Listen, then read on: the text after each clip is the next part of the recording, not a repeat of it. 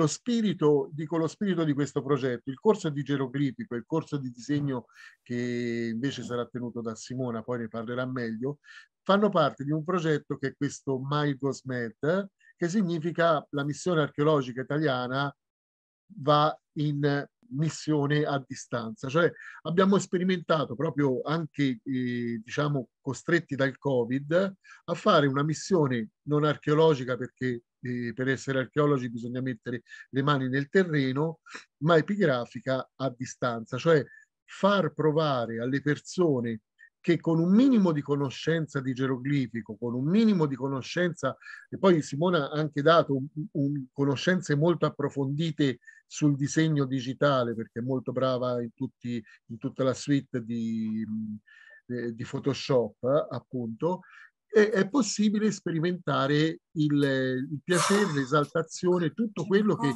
deriva proprio da una scoperta senza stare poi sul campo. E, e, e questo con Stefania, Jane, Simona, e poi è continuata questa esperienza, perché chi poi continuerà questo, potete, non è che dovete fare il progetto, ma chi farà il, il corso di geroglifico e anche il corso di disegno verrà integrato in questa missione epigrafica che da, darà poi soddisfazione, sarà, eh, ci saranno esercitazioni, mh, saranno spiegati proprio degli approfondimenti egittologici. Allora, per cui questo è il cappello, questi corsi di geroglifico e di disegno digitale rientrano in quest'ambito. Da quest'anno ci sarà il corso di, di arabo, di lingua e letteratura araba, perché ormai l'arabo, soprattutto parlato, ma se si sa anche scritto, e anche meglio, l'arabo parlato diventa indispensabile, fondamentale, necessario e chi più ne ha più ne metta per fare le ricerche in tutto l'ambito del Mediterraneo sudorientale. Quando ho iniziato io 40 anni fa bastava l'inglese, con il tempo invece chiaramente questi, queste popolazioni si sono evolute, si sono distanziate dai, dai periodi di colonialismo, perché venivano tutte da esperienze di colonialismo anglo-francese, in qualche caso anche tedesco, italiano, perché la Libia era sotto gli italiani, e evolvendosi una delle evoluzioni è stata un po' come quella che è successo da noi, che noi abbiamo avuto l'archeologia partita, dai, partita di, de, dagli inglesi, da tedeschi, poi alla fine anche noi abbiamo iniziato a, a scrivere gli italiani in prima persona e questa è l'evoluzione che stanno subendo in questo momento queste popolazioni. Per cui il, il corso di lingua e letteratura araba, che sarà un corso base, tanto per, fa, per far capire alle persone che cosa è l'arabo, perché è, è, è, più che utile. Allora io lascio ora la parola a Simona che come responsabile del corso ci introdurrà e poi vi faremo vedere cosa abbiamo anche intenzione di fare.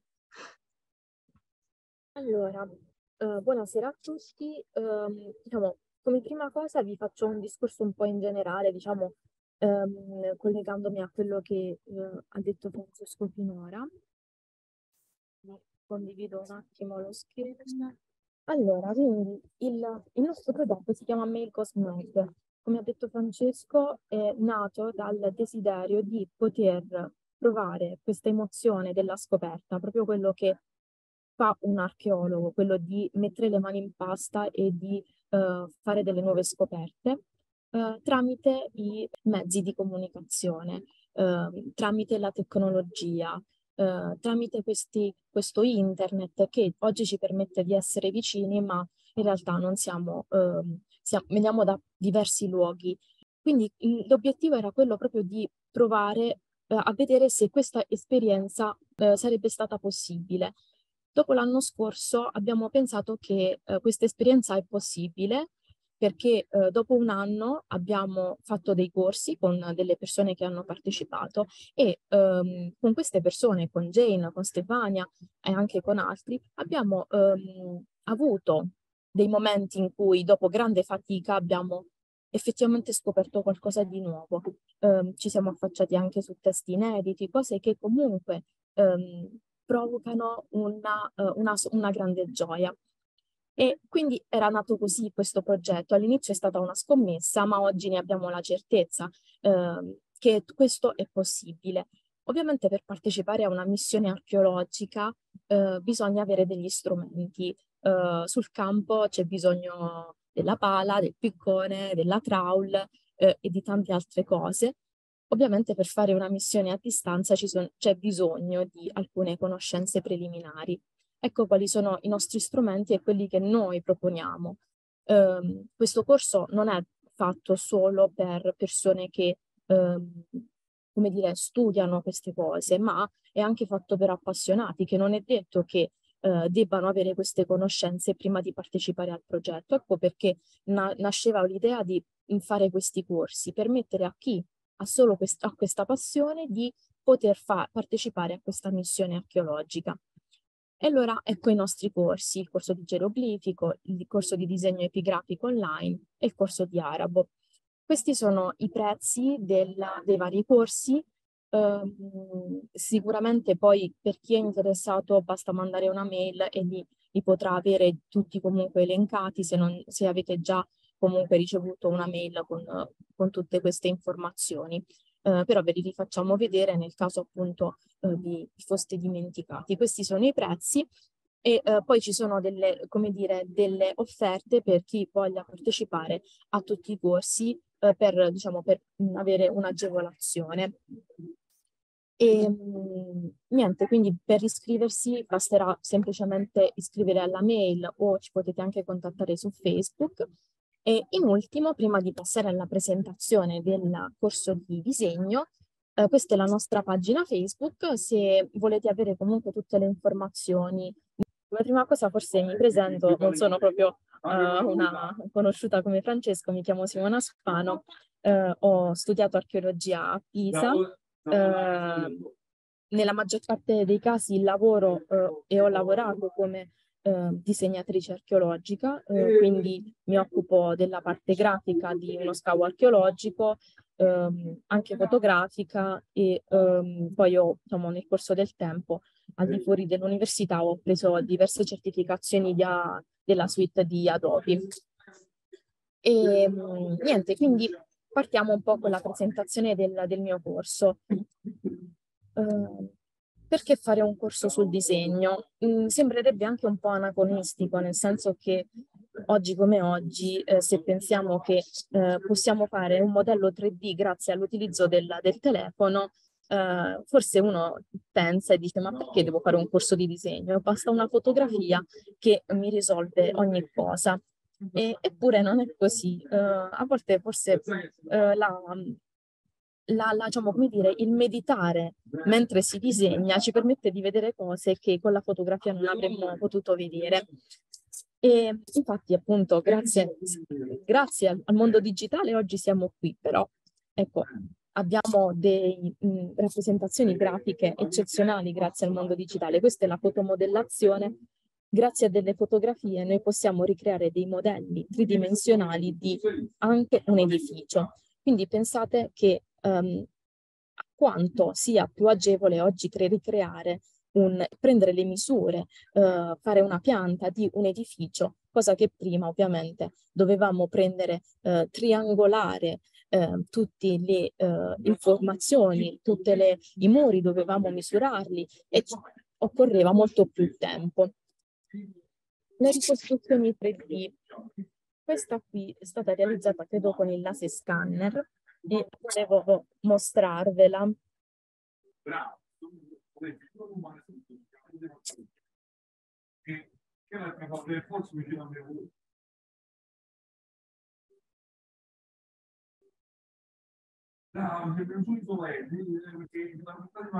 Ecco, vedete questo, questo piccolo video vi fa vedere come noi oggi, grazie alla tecnologia, possiamo addirittura entrare in un monumento che è distante da noi chilometri e, e chilometri. Mm, addirittura grazie alla ricostruzione 3D possiamo addirittura entrare all'interno di un monumento stando comodamente a casa nostra. Vedete questi altri esempi, abbiamo le ricostruzioni dei volti del, del, dei nostri, di alcune mummie, di alcuni, eh, di alcuni personaggi del passato. Eh, abbiamo un esempio di TAC di questo di questo, eh, di questo sarcofago. Ma la cosa appunto è che questo ci permette no, comunque di studiare, di avere delle informazioni in più. Oggi paradossalmente potremmo vedere un volto molto similare a quello che doveva essere nel passato uh, questa donna, quest'uomo. E ora vi faccio vedere quest'ultimo ritrovato. Penso che è stato inventato uh, qualche anno fa. Questo strumento ci permette di disegnare, grazie all all'utilizzo del laser, uh, di disegnare i frammenti ceramici. E vi faccio vedere un attimo uh, quello che, che fa vedere, delle immagini, diciamo.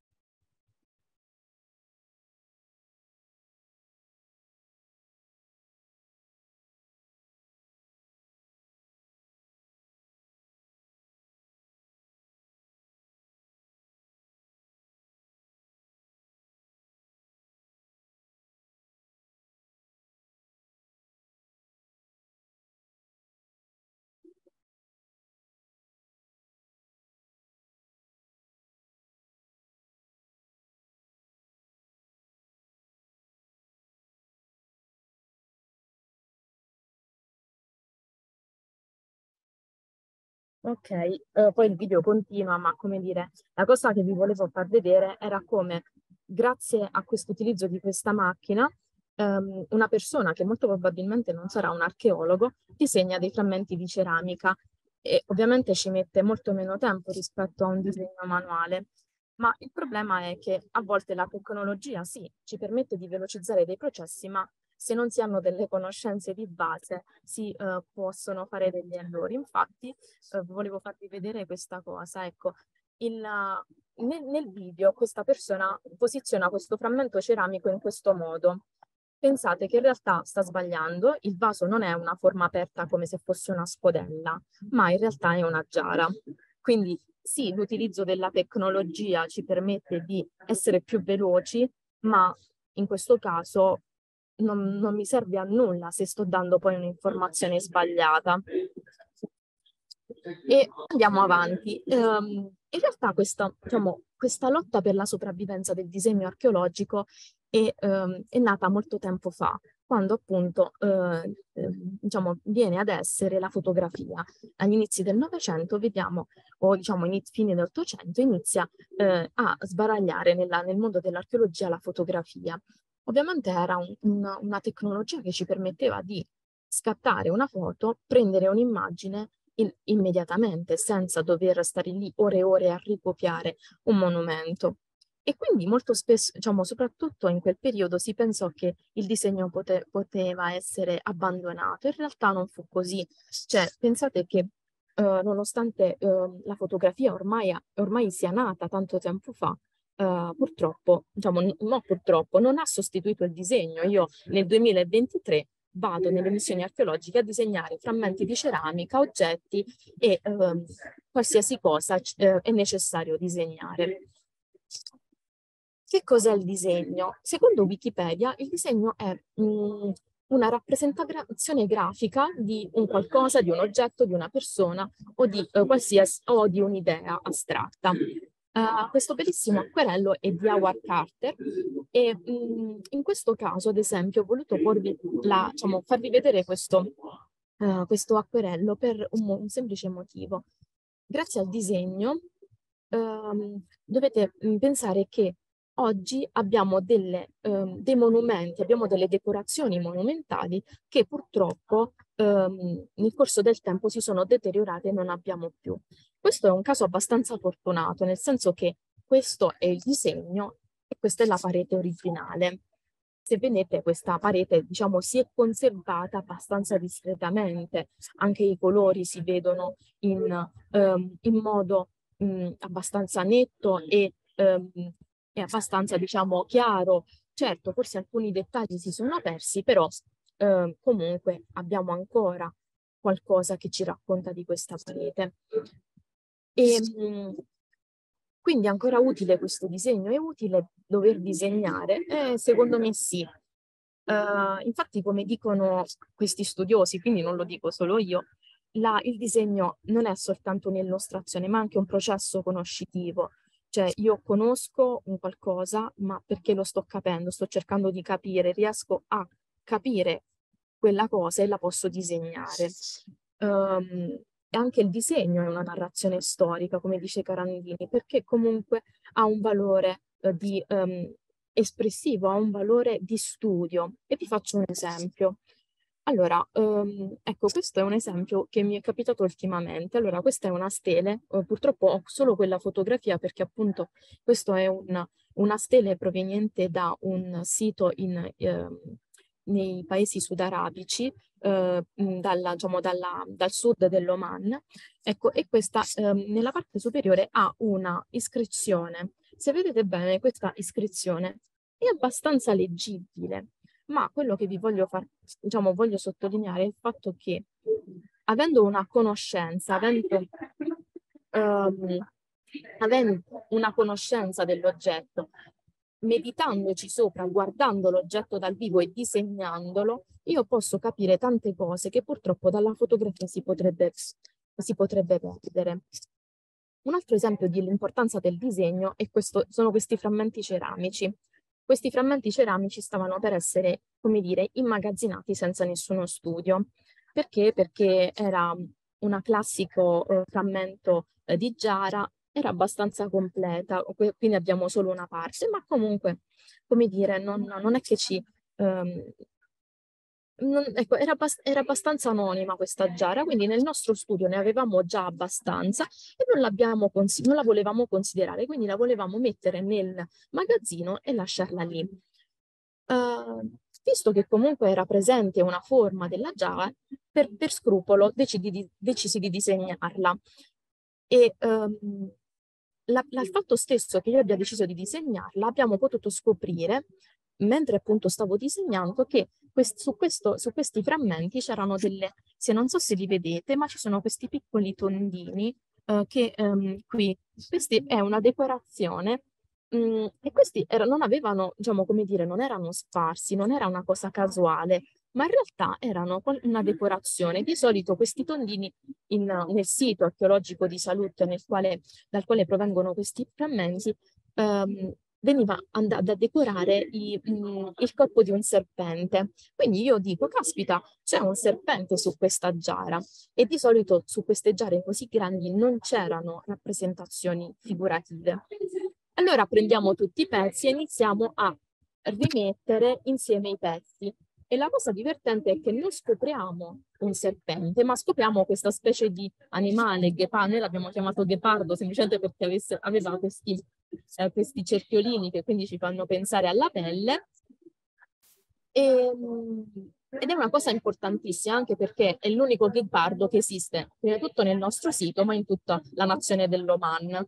Quindi immaginate cosa avremmo potuto perdere se non avessi voluto disegnare questo vaso, perché la fotografia l'avevamo fatta, ma dalla fotografia non ci eravamo resi conto del, um, della presenza della decorazione. Quindi il disegno serve appunto per studiare, per la conoscenza, ma anche per la divulgazione. Questa è una statuetta, eh, un Shakti di Arva. Eh, se io volessi scrivere un, un, testo e quindi comunicare con la com comunità scientifica circa l'iscrizione di questo oggetto, mettendo solo la fotografia, non, non è possibile. Um, tutti, agli altri che non, appunto non hanno davanti a sé la, la statuina, di poter visionare tutta l'iscrizione, ma grazie al, al disegno, um, in questo caso svolto, un disegno svolto, diciamo, praticamente è come se spiaccico su un foglio eh, tutta la, mh, mm, diciamo, l'iscrizione. Quindi mi permette in questo caso il disegno di comunicare qualcosa che in realtà con la fotografia non avrei potuto comunicare noi proponiamo un corso di disegno epigrafico, anche perché appunto sarà una, diciamo, l'unica cosa, a parte qualche inizio, esempio iniziale di disegno eh, di ceramica, che andremo a trattare. Eh, quindi epigrafico proprio perché appunto si tratta di epigrafi, di, di, diciamo, di iscrizioni o di eh, figurazioni su eh, monumenti, steli e cose di questo genere. Il disegno digitale, eh, diciamo come dire, il eh, programma che andremo a utilizzare eh, sarà un programma di grafica vettoriale, cioè Adobe Illustrator. Ci sono anche altri programmi ehm, che sono open source, eh, ma credo che quel, il programma più versatile sia appunto Illustrator. Dobbiamo ehm, anche forse quello più facile per certi versi. Una volta entrato nel meccanismo, ad, uh, Adobe ci permette di creare veramente tante cose, di fare tante cose, ma mh, ovviamente in maniera più lineare rispetto ad altri programmi, uh, come ad esempio Inkscape, che um, sono un po' più macchinosi. I vantaggi di un disegno uh, digitale, di un disegno fatto con grafica vettoriale, che io posso, una volta realizzato il disegno, perché prima si facevano dei disegni a mano, eh, posso, posso, modificare il disegno a mio piacimento. Vedete questo stesso vaso, una volta eh, ha la, il riempimento, diciamo, la, la, sezione nera con delle linee più spesse, dall'altro lato è tutto molto più eh, sottile. Questa differenza si può creare in due secondi una volta ricreato il, il disegno. Quindi, come dire, è una volta eh, fatto lo sforzo iniziale, il file che vado a creare è un file mh, eh, utilizzabile in più modi, un file che eh, non viene perso, non si distrugge, ovviamente a parte se uno rompe un hard disk, però eh, come dire, i disegni ehm, sul foglio, il foglio va a deteriorarsi. Gli svantaggi è che sicuramente, eh, ad esempio, i bei disegni che uno può pensare, ad esempio fatti nell'Ottocento dai grandi, dai grandi viaggiatori come eh, quelli delle descrizioni dell'Egitto, eh, sono disegni fatti con l'acquerello, fatti con le sfumature, che ovviamente hanno anche un altro valore. Purtroppo con grafica vettoriale, la grafica vettoriale è nata per la creazione di loghi, di disegni semplici, quindi non, eh, non prevede l'utilizzo di un um, delle sfumature. Uh, questo vasetto qui con la doppia ansa è stato creato una sfumatura successiva con, con Photoshop. Quello che potreste creare con Illustrator è la giara, uh, quella uh, colorata in rosso ma tendenzialmente oggi nel mondo dell'archeologia i vasi diciamo, si fanno abbastanza schematici come il, diciamo, quello centrale e volevo farvi vedere quello che abbiamo realizzato l'anno scorso. Uh, con gli studenti del corso dell'anno scorso abbiamo preso questa parete del cenotafio di Argua e um, in realtà aveva cinque porte, però per una questione di grandezza diciamo, nella diapositiva l'ho, uh, tagliata e abbiamo realizzato la, uh, il suo disegno epigrafico. Pensate che per poi poterlo studiare è molto più agevole leggere un testo da un disegno che dalla fotografia Ecco che quindi ovviamente ecco il valore di un, di un disegno, ecco perché si disegna. La fotografia sì è necessaria ma è anche più eh, disagevole il suo utilizzo. Poi qui ho voluto mettere eh, delle, uh, degli esempi di come si utilizza anche questo, il programma Illustrator per, per motivi personali, cioè creazione di loghi, di biglietti da visita, biglietti augurali, per farvi vedere che comunque un programma versatile non serve soltanto alla, all'archeologia. E quindi una volta diciamo, mh, avuto questa conoscenza, sicuramente si eh, potrà utilizzare anche per altri motivi. Questo è un po' lo schema iniziale, diciamo, lo schema delle lezioni, sono 12 lezioni, questi sono gli argomenti chiave. Poi, come dire, nel corso della, uh, del percorso potremmo anche comunque avere delle esercitazioni, uh, se qualcosa non si capisce si può sempre andare avanti e um, cercare di uh, focalizzarsi su alcuni elementi che sono poco chiari. Ma allora se non ci sono domande, vedo che non ci sono domande, okay. oppure o ci sono? No, non ci sono. Non ci sono, allora condivido lo schermo io. E... Va bene, allora buona continuazione. Ciao Simona, buon viaggio. Ciao. Grazie, Grazie, ciao. Allora, ora dovreste vedere la mia partecipazione, la, la mia eh, prima slide, vero? Sì, sì. Vedete? Sì, sì, vediamo Perfetto. perfettamente.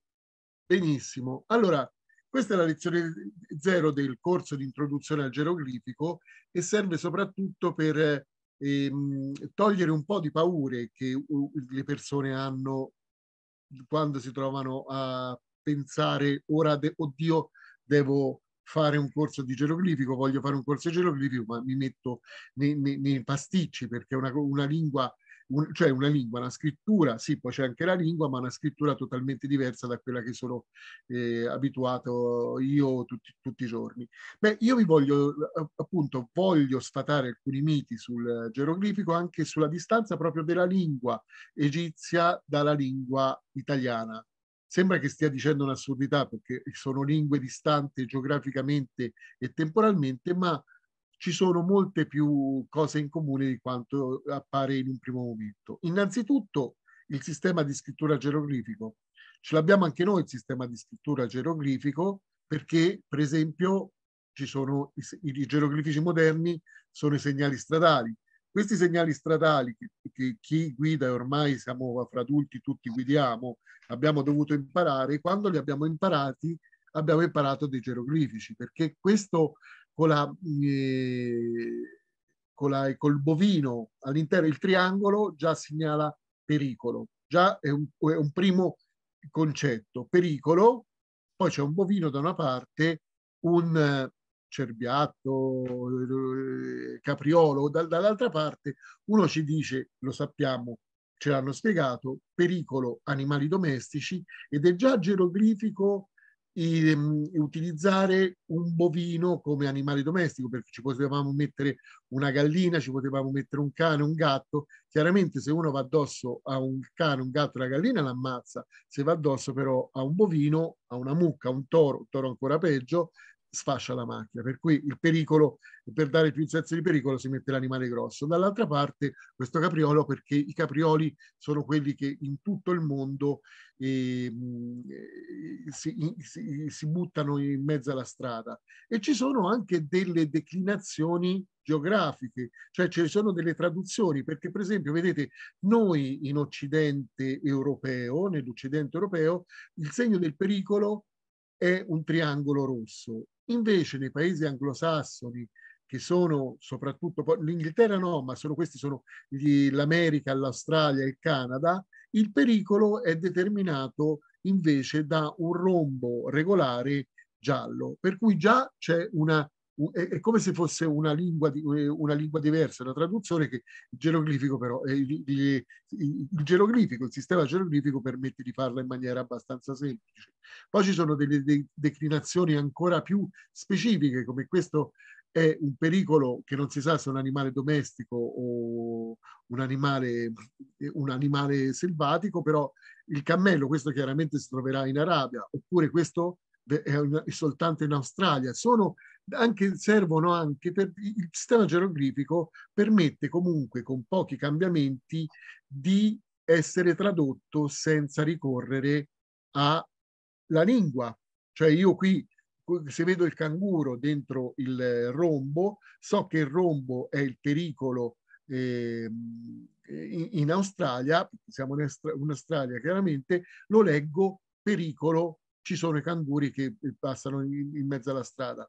Un inglese eh, lo leggerà Beware Kangaroo, un francese lo leggerà Danger des passages des de kangaroo, cioè non implica un, necessariamente un collegamento univoco con, la, con, una lingua, mentre invece la scrittura, come noi, io ho scritto geroglifici moderni, questo è italiano, chiaramente. Per cui c'è una facilità, ci sono ancora delle cose più specifiche, questi sono degli animali velenosi che si trovano in Australia, perché l'Australia deve essere, non ci sono mai stato, ma un paese terribile, si trovano tutti questi animali. E poi ci sono anche altri geroglifici, questi sono di più recente formazione rispetto ai segnali stradali, che sono gli emoji, i cosiddetti emoji, che servono a scrivere, ora sono emoji, sono, danno le, delle emozioni, ma volendo potremmo scrivere anche delle frasi, perché io potrei scrivere, eh, non lo so, sono a casa, ora non c'è la casa, però potrei mettere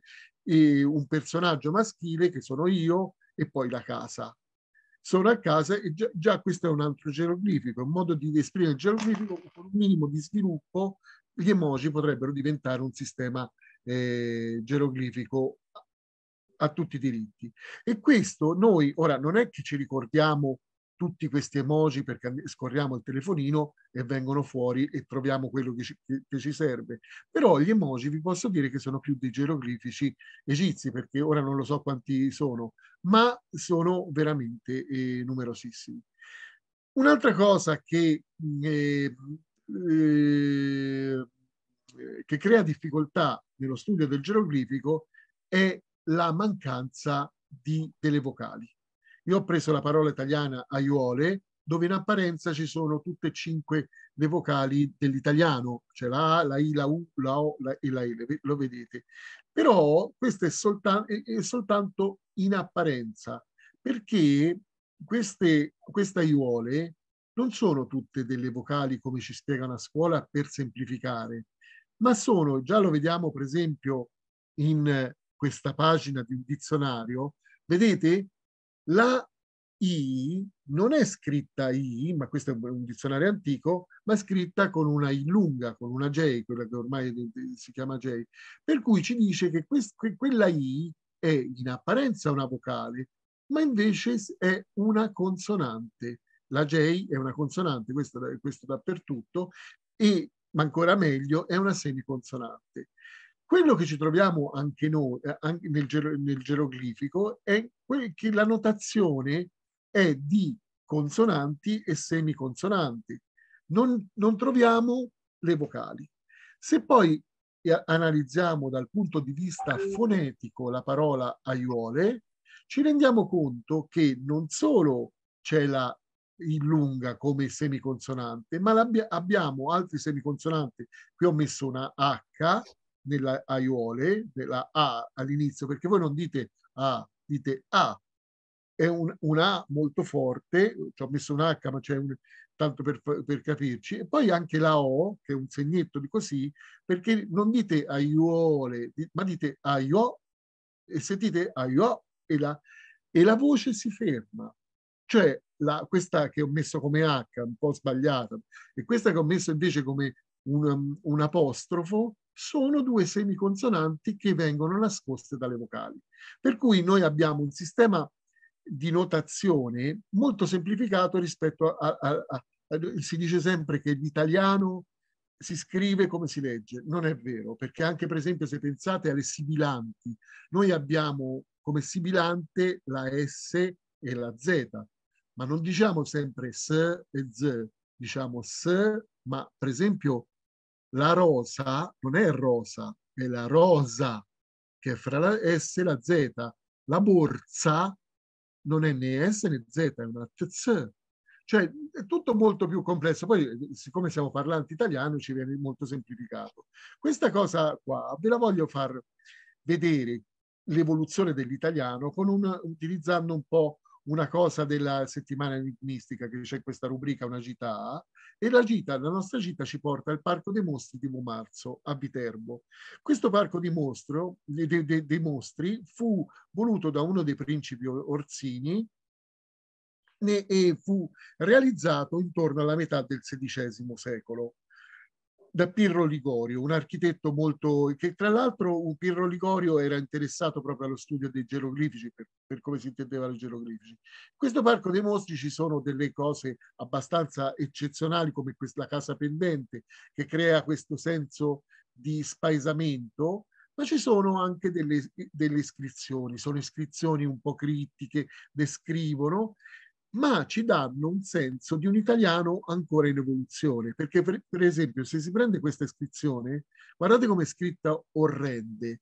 C'è questa H che chiaramente nell'italiano, voi orrende, se, scrive, se scriveste orrende, se aveste scritto orrende con l'H eh, alle elementari avreste preso un votaccio, mentre invece, scusate, eh, mentre invece qui c'è questa H perché lì è proprio lo stesso, eh, eh, siamo nello stesso ordine di idee di aiuole, cioè eh, c'è bisogno della eh, consonante all'inizio per, per, poter leggere questa, per poter leggere questa. Poi chiaramente si, eh, le lingue e le scritture tendono alla semplificazione, questa H non è stata più sentita necessaria ed è sparita. Un'altra cosa che si vede sempre in queste iscrizioni di Momarzo, noi abbiamo questo, la sequenza AR, eh, che, che, è una vocale più la liquida, la liquida è, la R, ma se noi prendiamo un'altra iscrizione, guardate come è scritto il verbo guardare. Perché guardare, c'è quella R che si appiccica là, perché, riprendiamo l'istruzione di prima, parte, arte, maraviglie, si sente la R, parte, mentre se voi eh, prendete guardare, no, la R è molto più debole. Guardarsi, io dico guardare, io non l'ho detta la R, però voi avete capito che devo guardare. Per cui, come vedete, l'italiano è apparentemente un sistema di scrittura molto semplice e molto chiaro, ma poi di fatto non lo è. E questo ci fa arrivare al funzionamento del sistema di scrittura geroglifico, perché noi nel sistema italiano eh, le parole vengono scritte con consonanti, vocali, in questo caso consonante vocale, consonante vocale, abbiamo casa. Noi, eh, se io mettessi, se, però quando io leggo casa, non leggo più C-A-S-A, non leggo casa, ma leggo casa. E quando leggo quella parola, quell'insieme di eh, consonanti e vocali, è come se fosse un geroglifico. Invece di essere disegnata la casa, viene scritta, ma ci richiama l'idea di casa. Io quando leggo casa, mi immagino casa mia, voi vi immaginate casa vostra, è, è così che funziona. Prendendo l'inglese, perché questo è un, uh, un esempio che avevo fatto quando insegnavo negli Stati Uniti, il sistema geroglifico sarebbe come se, questo è, eh, abbiamo qui una sola vocale, nel sistema geroglifico è se come questa vocale sparisse e avessimo una sequenza di tre consonanti. In inglese questa sequenza di tre consonanti si trova in molte parole, io ne ho prese tre, e, ed è come il geroglifico, perché anche il geroglifico, e qui vi introduco il geroglifico, noi abbiamo tre, queste, queste che vi sottolineo in blu, sono tre consonanti eseguite da questo signore che balla, che è una parte che è il cosiddetto determinativo. Per cui queste tre consonanti che sono, sembrano I, B, U le leggiamo convenzionalmente per cui I e U sembrerebbero vocali ma sono queste semiconsonanti, noi, perché queste corrispondono a una parola che potrebbe essere Yabuau, Yebeuo, cioè bisogna metterci le vocali che non sono scritte. Per sapere com come andava letta questa parola davvero, un parlante eh, egiziano antico un parlante per cui eh, uno che sapeva leggere il geroglifico, aveva questo determinativo, che era il determinativo dell'uomo danzante, sapeva per cui che quelle tre consonanti che precedevano l'uomo danzante non erano, non erano altro che il verbo danzare. Per cui abbiamo la, la parola eh, egizia si divide in due, in due parti ci sono dei segni fonetici, cioè che si leggono, e un segno semantico, che è poi chiamato determinativo, che invece ci specifica que quella sequenza di segni fonetici che sono solo consonanti, come vanno letti, ma noi non lo sappiamo più, però come vanno interpretati, e questo ci permette di tradurlo perché sappiamo che Ibu più il segno semantico dell'uomo danzante sta a significare danzare. Questo ci fa tornare alle nostre sequenze di HND che abbiamo visto prima. In, eh, in inglese ci sono 5-6 parole che hanno questa sequenza di HND, io ne ho prese tre, per cui voi immaginatevi che come se io scrivessi questa parola e per capire come la devo leggere, mettessi un determinativo per cui le, le leggo, ci metto una mano alla prima parola, un cane alla seconda e un cervo alla terza. A questo punto io sono, se fossi, questo è un sistema geroglifico modernizzato, se fossi un, un egiziano saprei come leggerli, perché la prima si legge hand, mano, la seconda hound, segugio, e la terza hind, che è una parola che si conosce meno, ma che sarebbe la femmina del cervo, hind. Per cui vedete, come le eh, vocali, che a noi ci sembrano basilari e fondamentali, non siano così importanti quando c'è il determinativo. Una cosa interessante del geroglifico è che c'è una interazione fra geroglifico e figurazione, per cui questa è una figurazione che ho preso dal, dalla, eh, dal monumento che, che scaviamo eh, a Luxor, che è il cenotafio di Arwa. In alto a destra avete una sequenza di geroglifici che descrivono quello che stiamo vedendo, ovvero sia quello che stiamo vedendo è un uomo che porta un, un bovino con sé. E noi abbiamo bovino, però è scritto soltanto con i segni geroglifici, non c'è il determinativo, perché il determinativo è rappresentato dalla figurazione. Per cui sappiamo che non è un bovino qualsiasi, ma rene nuo, che sarebbe come si leggono i geroglifici, poi chi seguirà il corso lo capirà, rene new si capisce che non solo è un bovino, ma è un bovino giovani.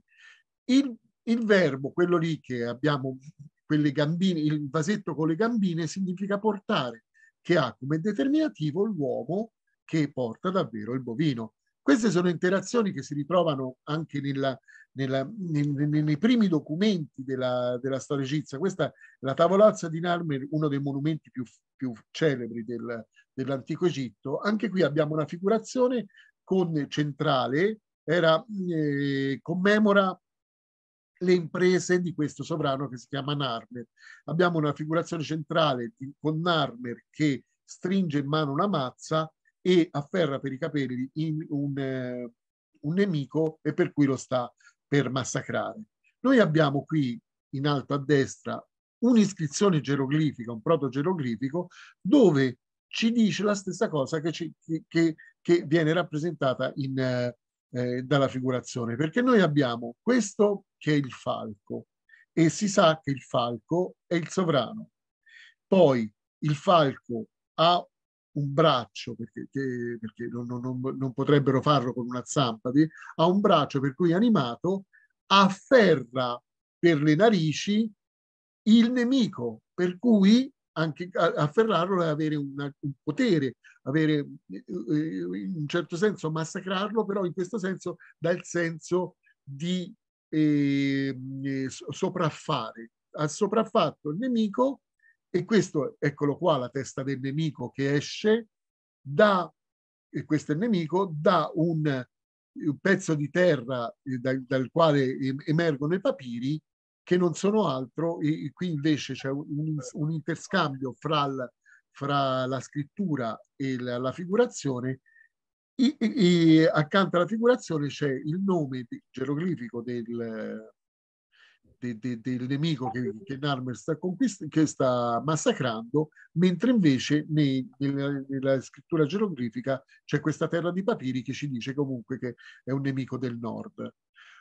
Ultimo esempio, sempre di questa interazione fra figurazione e geroglifico, per cui è interessante, è bello, perché quando uno sa il geroglifico, questo sto cercando anche di, di far vedere quanto sia importante conoscere il geroglifico per capire bene la civiltà egizia, questa è una statua di Ramesse II e il dio Horun. Il dio Horun era un dio eh, adorato dalle genti orientali che poi viene personificato dalla Sfinge di Ghisa. Comunque questa è una statua che c'è scritto sotto che è Ramesse II, ma può essere anche letta proprio la statua, perché noi abbiamo sulla testa di questo bambino accovacciato un disco solare, poi abbiamo appunto il bambino accovacciato e che stringe in mano un giunco, una pianta di giunco. Questi tre, eh, eh, questa figurazione composita può essere letta perché il sole, eccolo qua, abbiamo poi abbiamo il bambino col dito alla bocca, significa si legge mes come questo geroglifico e il giunco corrisponde al giunco si legge su. Noi abbiamo praticamente qua la lettura di Ramessu, cioè Ramesse. Il fatto che Orun sia dietro le spalle di Ramesse sta proteggendo, è un segno di, anche questa è una, è una, posizione, è un geroglifico per posizione, sta proteggendo Ramesse. Per cui questo è per darvi conto di quanto sia importante, perché si legge come un geroglifico. Per cui questa era una breve introduzione al geroglifico per farvi vedere quanto sia l'importanza del geroglifico e anche qua, le corrispondenze fra geroglifico e, e, e, e, scrittura italiana, perché ci sono. poi chiaramente ritornerò su questo argomento nella prima lezione. Comunque questo è il programma del geroglifico, sono nove lezioni ogni divisa per argomenti è già stata provata la divisione perché sono state fatte appunto è la seconda volta che facciamo questo corso. Ci saranno delle esercitazioni finali che vorrei farle uh, qui a Montepulciano in una, in una settimana da, da, dal decidere oppure se siete tutti di Chieti, conviene farla a Chieti, conviene che si muova Maometto e non la montagna, scusate mi, eh, dico che sono Maometto, però sono con queste nove lezioni più queste tre finali che servono a spiegare dei concetti eh, un pochino più complessi e, e anche a tradurre anche testi più complessi, uno non è in grado di conoscere il geroglifico, uno una non è in grado di conoscere il geroglifico in maniera approfondita, però è in grado di tradurlo in, eh, in modo abbastanza corretto. Questo io ho finito la mia, eh, la mia presentazione e poi vi posso dire che chi partecipa proprio a, a, al, al geroglifico, ma al, al, programma, cioè al programma di geroglifico, disegno e ora vediamo se integrarci anche il, perché in, in realtà eh, l'arabo serve soltanto a chi vuole fare questo come vera professione, non è che sia ah, anche Anna Maria, abbiamo, abbiamo anche un collegamento dall'Argentina, Anna Maria Rosso, per cui non è che, si, che il, il, il, l'arabo serve più che altro a chi dell'egittologia oppure dell'archeologia nel eh, sud-est del Mediterraneo vuol farne una professione, perché io dico a tutti, soprattutto ai ragazzi, che iniziate questo lavoro senza arabo, già è difficile che, che, che riusciate a continuare a... Però chi, vuole, chi, chi comunque farà geroglifico, come l'hanno fatto Jane e Stefania, poi dopo sarà integrato in un percorso di lavoro, di ricerca, che vi porterà, eh, Jane e Stefania faranno delle eh, esercitazioni, perché io ho fatto delle esercitazioni a loro, loro faranno delle esercitazioni a chi partecipa e eh, che, che, che, integreranno tutto quello che non si può fare. Più di 12 lezioni io non mi sento di farle perché sono troppo approfondite e a un certo punto è bene che una lingua, una scrittura si imparino sul campo, cioè sulla, sulle iscrizioni vere. Poi ci sarà la possibilità di andare a fare esercitazioni anche a Luxor perché abbiamo una casa e fare questo corso di geroglifico significherà aprirvi delle porte che non, non immaginate neanche, forse non riesco a immaginare neanche io perché quando io l'ho fatto con Jane e Stefania la prima volta non immaginavo che andasse così bene e arrivassimo a pubblicare. Stiamo arrivando a pubblicare non solo testi, ma anche loro si stanno anche occupando di altri aspetti dell'egittologia, divertendosi perché lo spirito, lo spirito di questi corsi è cioè proprio come, come fanno gli animali, cioè la leonessa insegna ai leoncini a cacciare giocando. Questo è un gioco, ma molto serio, perché giocheremo con i geroglifici, giocheremo con il disegno, giocheremo con l'arabo, ma giocando, perché se no uno si annoia e si dà le martellate sulle, sulle dita, giocando impareremo a que queste cose. Per cui io ora, se voi mi, mi, dovreste lasciare, siccome non ho il vostro indirizzo, mi dovreste magari scrivendolo sulla chat, il, il lasciare il vostro, oppure io vi metto, il, vi metto il mio, ora vi metto il mio indirizzo mail eh, sulla chat. Ecco, sto mettendo già quello sbagliato perché io sono così. Vi metto il mio, chi è interessato, perché non è, chi è interessato mi scrive e io gli mando il programma dettagliato, così uno con tutto, tutte le informazioni dettagliate, ve l'ho scritto, dovreste averlo eh, tagliatevi, incollato, mi scrivete un messaggio, sono interessato, basta che mi scrivete sono interessato al corso di geroglifica, al corso di disegno, quello che vi pare, e io vi mando le informazioni del caso. Questa richiesta di informazioni non implica che dopo io vi scrivo, oh, non vi siete iscritti, non, non implica niente, eh. ve lo mando e poi, eh, poi dopo decidete voi. La prima lezione del corso di disegno è prevista per il 15 febbraio, quella del corso di geroglifica è, per, è prevista per il 16 febbraio.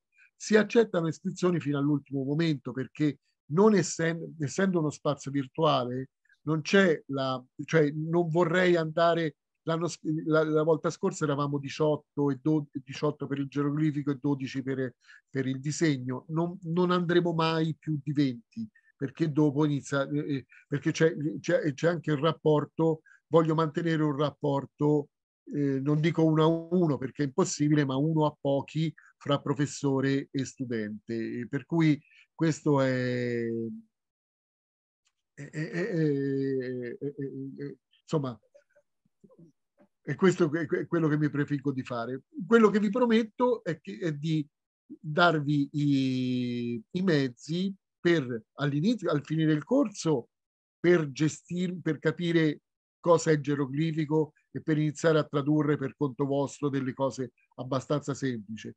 Alla fine di tutto questo percorso di, che continua ancora, che non, non, non c'è una fine, vi, vi prometto che sarete proprio integrati in una missione reale con riunioni, discussioni, ci, ci divertiamo e, e, stiamo facendo anche un po' l'egittologia perché mettendosi con pe persone con differenti comp eh, competenze come eh, Jane è traduttrice, Stefania è un musicista, per cui è un approccio serio e professionale perché una traduttrice e una musicista su una, su una lingua si mettono in maniera professionale perché uno spartito musicale è una lingua, un, un, testo da tradurre, certo, è una lingua, quello, quello va a dire, eh, cioè, c'è bisogno di dirlo. Per cui io queste, volevo farvi questa introduzione per cercare di sfatare alcuni miti e soprattutto di cercare di farvi vedere che il geroglifico è difficile, ma non è così distante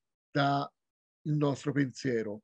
È che il nostro pensiero, che è talmente semplificato, che perdiamo delle sfaccettature dell'italiano che ce lo renderebbero molto più simile al, a, a, al pensiero degli, de, degli, egizi. Ecco, io se volete fare, prima di concludere questo incontro, poi appunto meditate voi quello che volete fare, se avete qualcosa da chiedermi eh, di, di tutti e tre i corsi, il corso di arabo, vi ripeto, ve lo, eh, vi darò informazioni in seguito perché ancora siamo un po' eh, tornati al punto di partenza perché lo, lo, volevamo far fare a un professore di Aswan, ma ci siamo resi conto che la, la, farlo insegnare in inglese magari potrà fare degli interventi più specifici sulla terminologia di uno scavo archeologico, ma più in là, per cui stiamo ancora lavorandoci su. Per cui io sono a vostra disposizione. Se avete domande, qualsiasi domanda. Professore, una domanda di carattere sì. pratico. Si sa già l'orario dei corsi o no? Allora, i costi ve l'ha fatti vedere... No, no, l'orario dei corsi, l'orario. Ah, dei corsi, scusi, avevo capito sì. l'orario dei costi. Eh, l'orario dei corsi, la prima lezione è alle 6. Abbiamo fatto alle 6 del 15 e del 16 per un, per un, motivo che tutti alle sei più o meno siamo liberi, anche chi ha impegni esatto, universitari. chiedevo per quello, sì.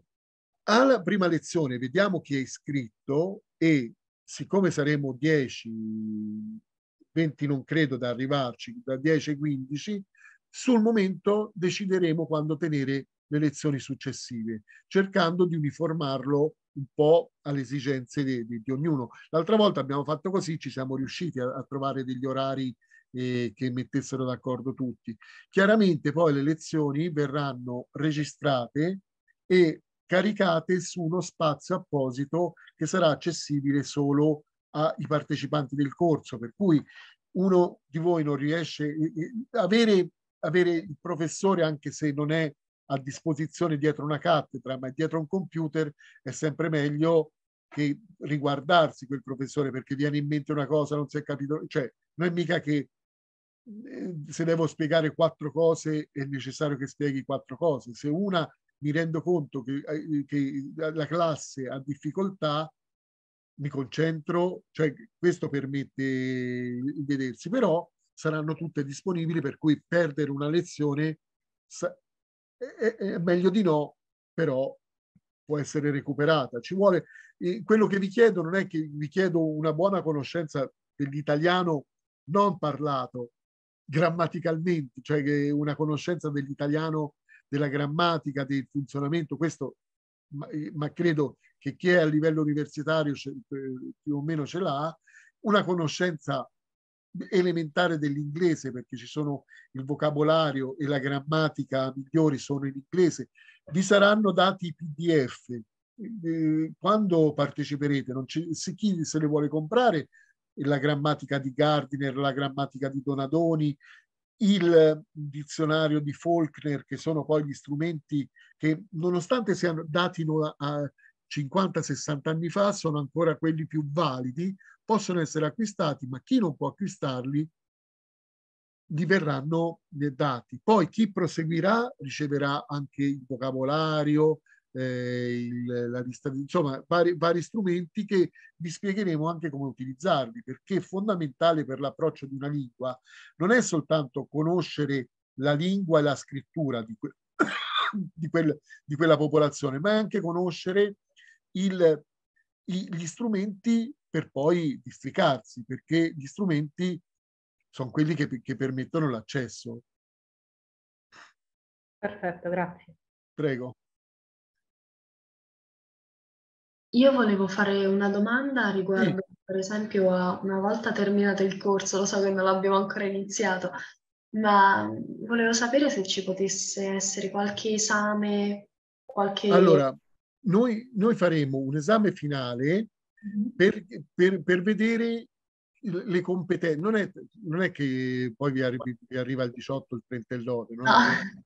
è per vedere le competenze di ognuno e vedere se soprattutto coloro che vorranno continuare hanno raggiunto un livello di competenza tale da permettergli di continuare, perché non possiamo prendere persone che non hanno un minimo di conoscenza eh, dell'egiziano antico di disegno, perché, eh, cioè, allora, attenzione, anche se voi fate, vi iscrivete solo a quello di geroglifico e poi volete entrare nel, nel, in questo progetto Mile Cosmed, che è la missione virtuale, dovrete solo dimostrare di avere, cioè se conoscete Illustrator, per esempio, non è necessario che seguiate il corso di eh, Simona, dovrete avere una, vi sarà dato un pezzo di iscrizione geroglifica, ce lo dovrete ridare, per, no, non è neanche un esame, ve lo diamo e poi dopo due, dopo due o tre giorni vi chiede, è stato fatto così ecco, per, per, alcuni.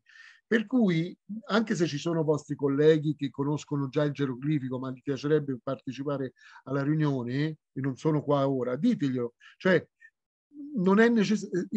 Allora, io vi chi vuole fare il geroglifico, chiaramente il geroglifico serve, ma chi non ha competenze di disegno con Illustrator anche se il, dice oggi faccio il geroglifico come interesse e domani io però sono una, una, una storica dell'arte, uno storico dell'arte e il geroglifico non mi interessa più, eh, non mi, inter mi interessa così. Eh, il corso di, eh, di disegno digitale di Simona permette un approccio al disegno in genere. Il disegno, come ha spiegato bene Simona, è fondamentale per la ricerca archeologica ancora oggi. Questo lo ribadisco. Avete visto proprio, ha fatto l'esempio di, di quel...